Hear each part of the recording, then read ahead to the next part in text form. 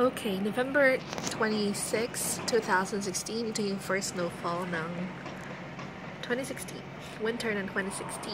So, kanina, uh, nag-start ang snowfall siguro mga 11 o'clock. Pagkatapos, konti lang siya. Mga flurries lang. So, ngayon, medyo, ayan, marami-rami na. Snowflakes na talaga. Ayan. So, sa baba, kahit na kanina pa nag-snow, nagme-melt siya agad pag baba. So, sa baba wala pang um, snow talaga na na, na naipon. Lamig. Okay. Kuha tayo snowflakes.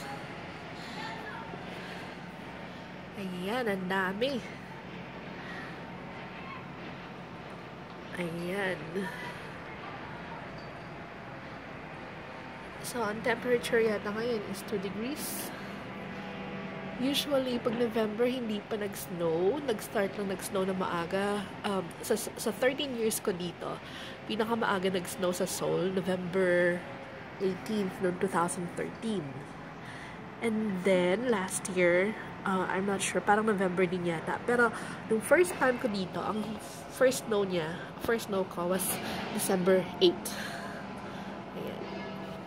So, December 8 siya nag-snow nung una. First time ko. Tapos, usually December 6, December 7, December 8. And then, um, 2013 nga, first time ko naranasan na November pa lang nag-snow na. Okay.